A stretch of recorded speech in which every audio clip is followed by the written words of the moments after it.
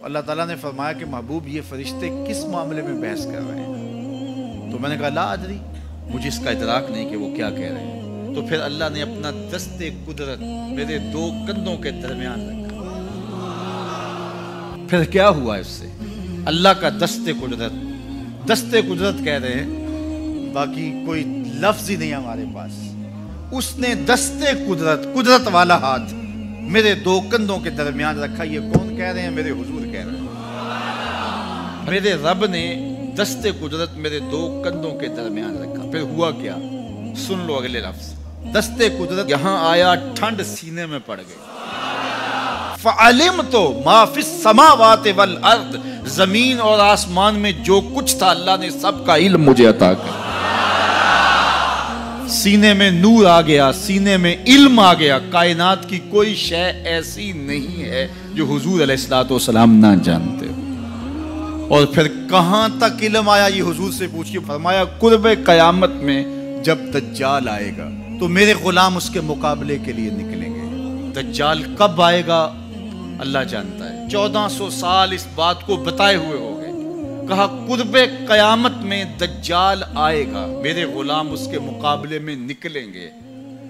इन्नी असमा मैं अपने उन गुलामों के नामों को जानता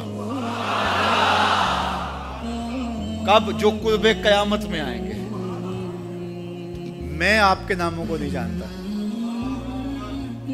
आप दो दो साल, चार चार साल, पाँच पाँच साल से मेरे पीछे जुमतुल मुबारक पढ़ रहे हैं। शक्लों को पहचानता हूँ, नामों को नहीं जानता कई लोग बड़े शौक से कहते हैं, जनाब, वो नज़ीर साहब, नदीम साहब, फलां साहब, वो आपके, मैं कहता हूँ, तस्वीर दिखाओगे तो मैं पहचानूँगा। तो इतने लोगों के नाम में याद नहीं रखता। तो जब मैं आपके नाम नहीं जानता, जो हर जुमतुल मुबारक को यहाँ आते हैं तो जहाँ दो महीने के बाद दस से कुरान देने जाता हूँ तो वहाँ के लोगों के नाम कैसे जानूँगा? और फिर जो सोशल मीडिया पे सुनते हैं, और मैं उनको देखा भी नहीं, उनके नाम कैसे जानूँगा? और मेरे हुजूर क्या कह रहे हैं? कि कुर्ब कयामत में जो दज्जाल आने वाला है और मेरे गुलाम जो उसके मुकाबले में निकलेंगे, मैं उन गुलामों के नामों को जानता हूँ। बात खत्म यहाँ नहीं हुई, यहाँ खत्म हो जाती, फिर भी काफ़ी था।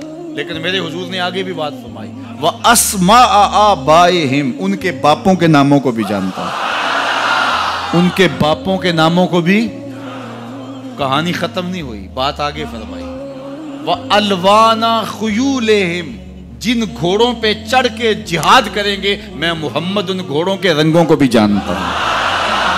कौन सा गुलाम किसका बेटा, किस कबीले का फर्द, किस रंग के घोड़े पे बैठ के जिहाद करेगा? कहा, मैं सब जानता हूँ। ये क्यों जानते हैं? दस्ते कुदरत हुजूर के कंधों पे आया।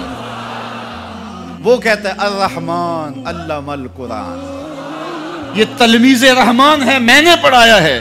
तो जब उसने पढ़ाया है तो फिर कोई शय मखफी, महबूब से कोई शय पोशीदा नहीं रखी। और आला हज़रत फरमाते हैं, कोई निशानी बाकी रह गई जब रुख से निकाब भी उलट दिया। जब रब ने अपना आप भी नहीं छुपाया तो फिर कोई शह बाकी पीछे रह गई।